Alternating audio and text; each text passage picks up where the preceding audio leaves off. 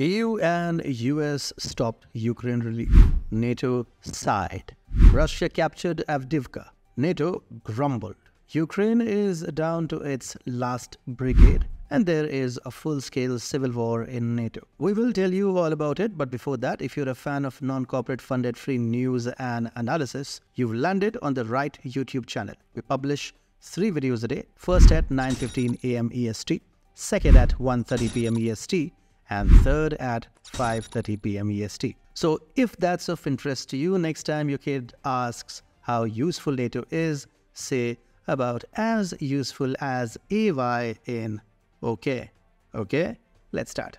The past 12 months have laid bare the volatile nature of the North Atlantic Treaty Organization, that is NATO. In February 2023, the Wall Street Journal reported on the invigoration of the NATO, prompted by the ongoing Russia-Ukraine conflict. However, as time has progressed, the unity, once bolstered by external threats, is showing signs of strain. Among the persistent issues is the adherence to the defense spending guideline, which mandates member countries to allocate at least 2% of their GDP to defense. Currently, only 11 out of 31 NATO members meet this criteria. Notably, France and Germany, key players within the alliance, are among the countries falling short complicating collective strategic decisions, particularly concerning Russia. The discord within NATO is further exemplified by the stance of German Chancellor Olaf Scholz, who has expressed hesitance in sending Taurus cruise missiles to Ukraine, fearing entanglement in a direct conflict with Russia. This reluctance comes at a particularly tumultuous time for Scholz as he grapples with the fallout from a leak within the German military intelligence.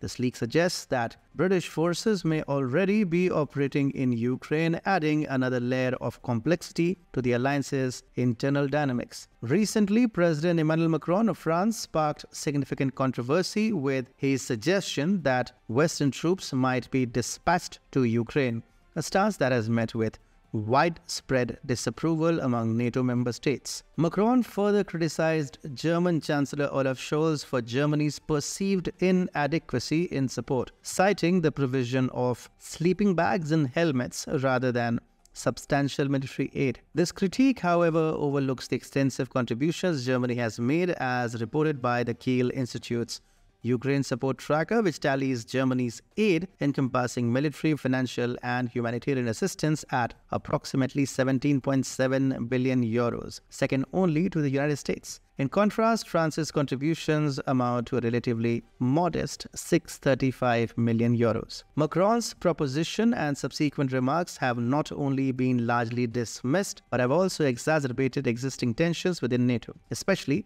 casting doubt on the moral and political leadership of France and Germany in Eastern Europe. This skepticism fuels opposition to the anticipated appointment of Dutch Prime Minister Mark Rutte as the next NATO Secretary General. Rutte's candidacy is contentious, particularly in the light of the Netherlands' consistent failure to meet 2% GDP defense spending guideline, leading former Estonian President Toomas Hendrik Ilves to question Rutte's moral credibility. Berlin's ongoing endeavors to expand gas power infrastructure in Europe highlight a pressing need for energy diversification. While LNG imports from Qatar and US are part of the solution, challenges such as vulnerabilities in the Red Sea and President Biden's reservations about expanding US LNG exports underscore the complexity of reducing energy dependence on Russia. Despite the significant damage to Nord Stream 2, the possibility of repairing and utilizing remaining functional parts of the pipeline indicates a likely scenario where Russia remains a key energy partner in the post war landscape. Macron's critique of Germany's initial reluctance to support Ukraine robustly has merit, reflecting the efforts required to galvanize Berlin into action. However, Macron's proposal to dispatch Western troops to Ukraine inadvertently aligns with the Kremlin's narrative portraying the conflict as a NATO proxy war aimed at undermining Russia. Remember, it was Germany that started the boycott Macron trend. These developments collectively illustrate NATO's lack of a unified strategy, explaining that the bloc is now living on borrowed time. While a cohesive and determined NATO could have posed some challenge to Russia, the alliance's current fragmented state offers Moscow a cutesy adversary. Moving on from useless alliances and groups, let's talk about useless fighter jets that require manicured roles and pedicured pilots to fly. One such fighter jet is proving absolutely useless in Ukraine. Here is our video that explains everything.